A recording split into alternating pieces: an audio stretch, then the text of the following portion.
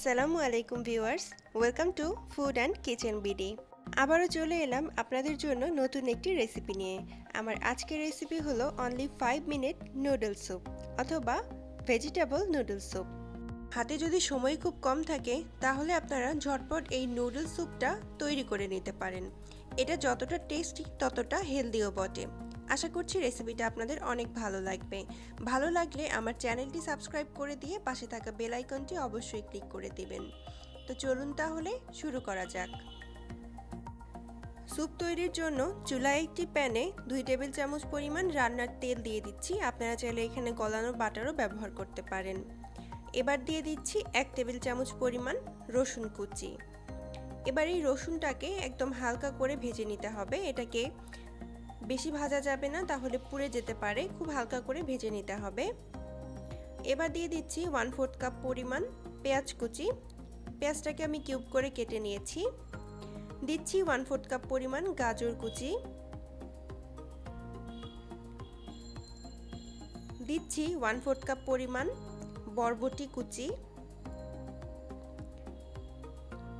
এবার এই সবগুলোকে একত্রে ভালো মতো মিশিয়ে নিতে হবে এবং দুই মিনিটের জন্য হালকা করে ভেজে নিতে হবে।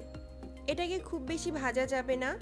এটাকে সেদ্ধ করা যাবে না। হালকা ক্রাঞ্চি থাকবে, তাহলে খেতে বেশি ভালো লাগবে। সামান্য লবণ দিয়ে দিচ্ছি। আবারও নেড়ে চেড়ে মিশিয়ে নেব। আর এই রান্নাটা করতে হবে মিডিয়াম হিটে। আর ভেজিটেবলটা আপনাদের পছন্দ মতো দিয়ে দিবেন। এবার দিয়ে দিচ্ছি চার পাঁচটি কাঁচা মরিচ এভাবে কুচি করে। ঝালটা স্বাদ মতো দিয়ে দিবেন। দিচ্ছি ওয়ান ফোর্থ কাপ পরিমাণ green capsicum one fourth cup পরিমাণ রেড ক্যাপসিকাম এটাও আপনাদের টেস্ট অনুযায়ী দিয়ে দেবেন। এবার সবগুলোকে হালকা করে ভেজে নিতে হবে নেড়ে চেড়ে এটাকে একদম নরম করে ফেলা যাবে না জাস্ট হালকা একটু ভেজে নিলেই হবে। তো এটা ভাজা হয়ে গেছে। এবার এখানে আমি দুই কাপ পরিমাণ পানি দিয়ে দিব। পানিটা ভালো মতো ফুটিয়ে নিতে হবে। পানিটা ফুটে উঠলে এখানে নুডলস দিয়ে দিতে হবে। আপনারা এখানে যে কোনো ধরনের নুডলস ব্যবহার করতে পারেন। এবার এটাকে দুই থেকে তিন মিনিট রান্না করে নিতে হবে। এরপর দিয়ে দিতে হবে নুডলসের মশলা। এরপর দিয়ে দিচ্ছি দুই টেবিল চামচ পরিমাণ টমেটো সস। এটাও আপনাদের পছন্দ মতো বা স্বাদ অনুযায়ী দিয়ে দিবেন। এটা আপনারা বাড়িয়ে কিংবা কমিয়েও দিতে পারেন। এবার স্বাদ মতো লবণ দিয়ে দিচ্ছি। আর দিয়ে দিচ্ছি হাফ চা চামচ পরিমাণ চিলি ফ্লেক্স, এটা চাইলে নাও দিতে পারেন। এবার এই সবগুলোকে ভালো মতো একত্রে মিশিয়ে নিতে হবে।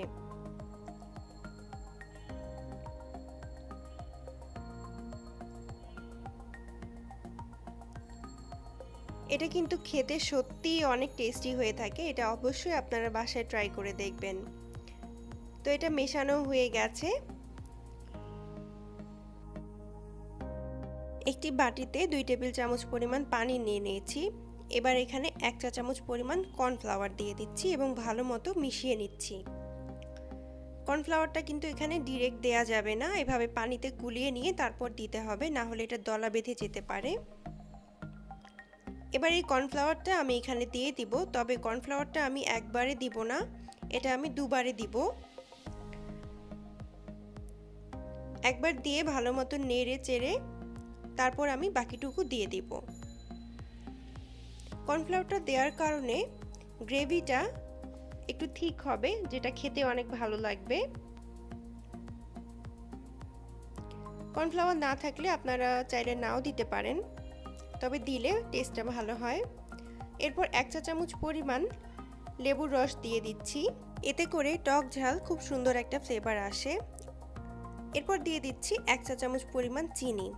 এটা সম্পূর্ণ অপশনাল আপনারা চাইলে না দিতে পারেন।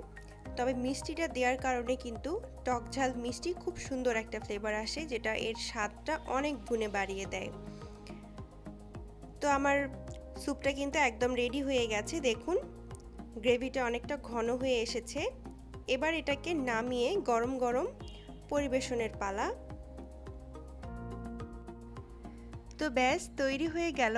খুবই হেলদি এবং টেস্টি নুডল স্যুপ বা ভেজিটেবল নুডল স্যুপ এটা খুব সহজেই মাত্র পাঁচ মিনিটেই তৈরি করা যায় এবং খেতেও কিন্তু অসাধারণ স্বাদের। তো আশা করছি রেসিপিটা আপনাদের অনেক ভালো লেগেছে এবং অবশ্যই আপনারা বাসায় ট্রাই করে দেখবেন। আমাকে সাপোর্ট করার জন্য অবশ্যই আমার চ্যানেলটি সাবস্ক্রাইব করে পাশে থাকা বেল আইকনটি ক্লিক করে দেবেন লাইক করবেন শেয়ার করবেন আপনার ফ্রেন্ড অ্যান্ড ফ্যামিলির সাথে। সবাইকে অসংখ্য ধন্যবাদ। সাথে থাকার জন্য আজ বিদায় নিচ্ছি। আল্লাহ হাফেজ আসসালামু আলাইকুম